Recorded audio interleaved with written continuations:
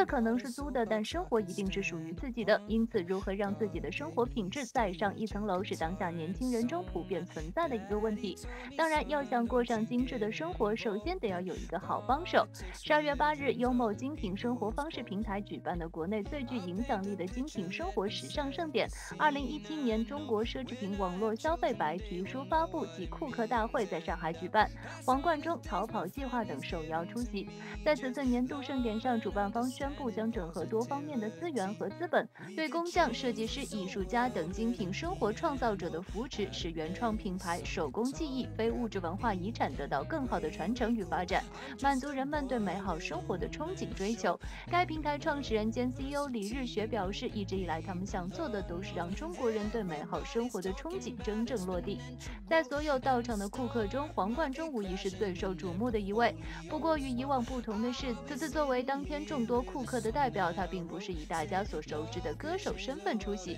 当天在现场，黄贯中大方透露，其实自己开始画画的时间要比做音乐的时间早得多，在还不会走路的时候就开始画了，甚至还表示自己要一直画到生命的最后一天。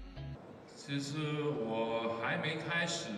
玩吉他之前，嗯，但是我很小就玩吉他了，嗯，因为我大概十二岁就会弹吉他，嗯，就在之前就在之前，在之前就开始画画，就只会在地上爬，除了爬就是塞东西进嘴巴，就就画画，其他就是画了。哦，所以你是画画的时间其实是比做音乐的时间要久的，一定。这一定啊，这个我们都不知道哎。对，其实我们这样啊，说个数字啊，阿抛，你又唱歌唱了多少年？啊，我唱歌唱了三十几年。画画画了多少年？四十几年。除了发布各种高大上的数据，众多追求高品质的库克分享经验以外，当晚的盛典还有一个不小的亮点，以原创作品闻名的乐队逃跑计划当天也是现身为盛典助力，现场也是连唱了几首代表作，赢得了阵阵掌声。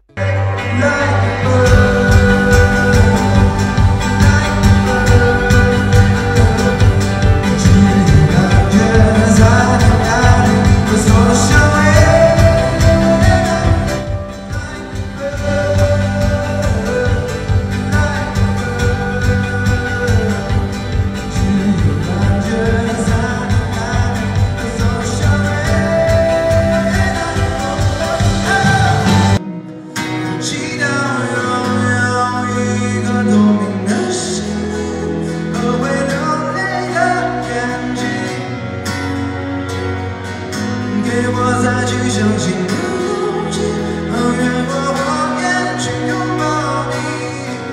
每当我找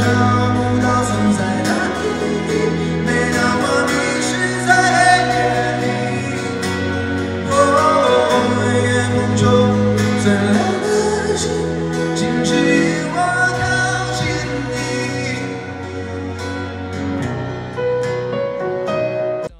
求高品质的生活。上海报道。